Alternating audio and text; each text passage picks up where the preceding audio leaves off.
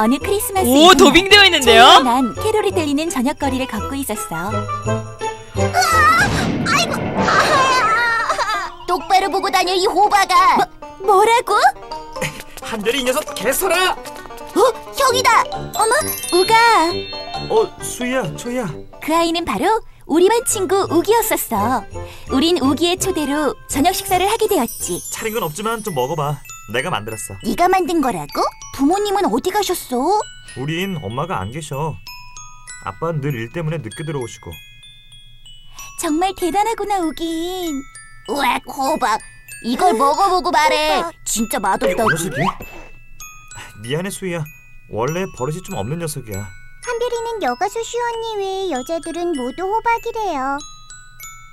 이 뜨끔잼. 녀석은 슈를 너무 좋아해. 직접 한번 보는 게 소원이래. 내 소원은 맛있는 과자를 실컷 먹어보는 건데. 나중에 너 그러다 뒤지대. 벌어서 맛난 과자 많이 사줄게.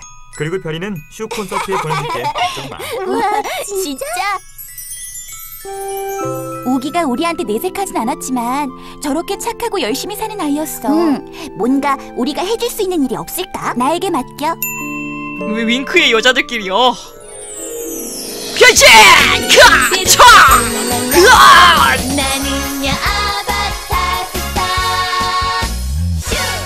뭐야 왜 토끼야? 어? 정전잼. 뭐지?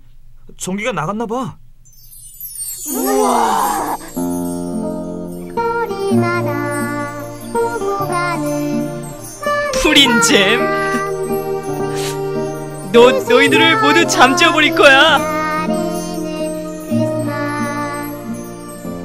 히, 이게 뭐임? 어, 성추행잼? 어, 뽀뽀함.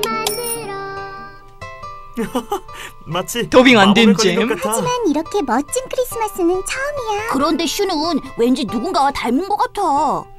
그날 밤 우기네 가족들은 정말 행복한 크리스마스 이브를 보내게 되었지. 너희 크리스마스는 어때?